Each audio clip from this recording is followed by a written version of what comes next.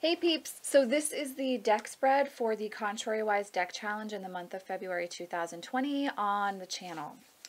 I don't typically use set spread meanings. Um, if you've mentored with me or studied with me at all, you know that I really just lay the cards down and let what flows flow. But because we're working with a deck that we may be struggling with this month, I do have set meanings for this deck spread.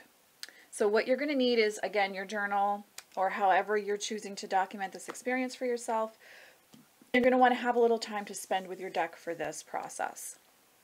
This is a five card spread and each card does have a set meaning. You can lay them out however feels most attractive to you or feels most appropriate for you for your deck. Um, you know, in my mind, I'd kind of be doing like a, one card at the top and then four beneath. But let this be, you know, let that flow for what feels right for you and your deck.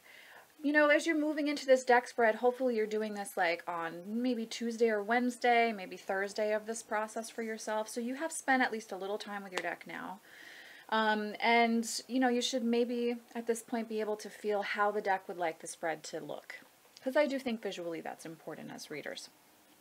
So I'm going to post the spread in the info bar, um, that's all going to be listed so you don't have to try to memorize this as I read it out. I'm just going to read it out for you so you can kind of get an idea of the scope or what it's going to feel like. Please adapt this to whatever specific questions you want to ask for your deck. This is just a jumping off point. So card number one, why have you come into my life, is the question for the card that you're going to draw for that.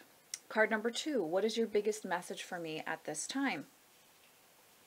Card number three, what lesson am I currently learning on my path? Card number four, how would you like me to connect with you? And card number five, what does my soul need to know at this time?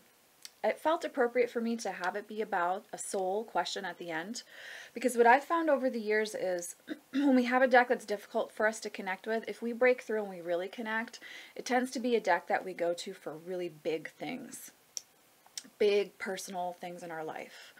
Um, May not be the case for you with this deck, but it is helpful to ask those kind of deep questions of the deck to get an understanding for how both of you are communicating with each other about soul purpose things, which are really big deals for all of us in our life. So what does my soul need to know at this time? Felt appropriate for the last card because it is an in-depth question that's creating a deeper connection with your deck. It's not something surface.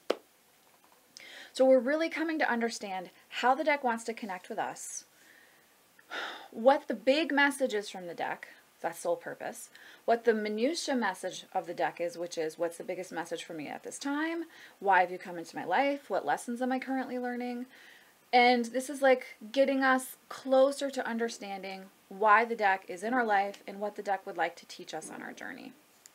So again, this is the deck spread. You can come back to this as many times as you want. Feel free to use this with any other decks, and please feel free to adapt it based on your needs and what you feel from working with your Contrariwise deck for this deck challenge. Much love, many blessings, guys. See you in the next video.